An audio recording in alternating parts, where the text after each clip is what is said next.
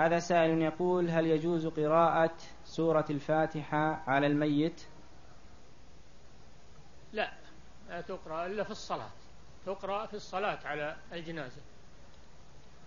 وأما أن تقرأ على القبر أو على الجنازة فهذا غير مشروع. ولا يجوز قراءة القرآن على الميت لا الفاتحة ولا غير هذا من البدع. ما يقرأ القرآن إنما روي أن تقرأ سورة ياسين على المحتضر على المحتضر قبل يموت. والحديث ضعيف فيه نظر وفيه مقال ولكن هو في المحتضر.